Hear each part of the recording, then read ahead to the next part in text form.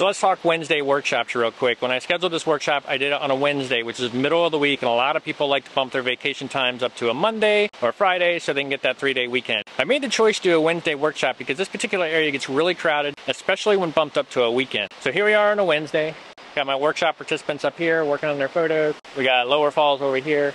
And there's some people here, but there's not nearly the number of crowds as I've seen when I've run a workshop on a Friday or Monday. So my opinion is if you're considering doing a landscape photography workshop, you really want to get the most of your time, the most of your money, and it's probably worth taking that middle of the week vacation day so you can go out and spend that time and get the most value for your money and time.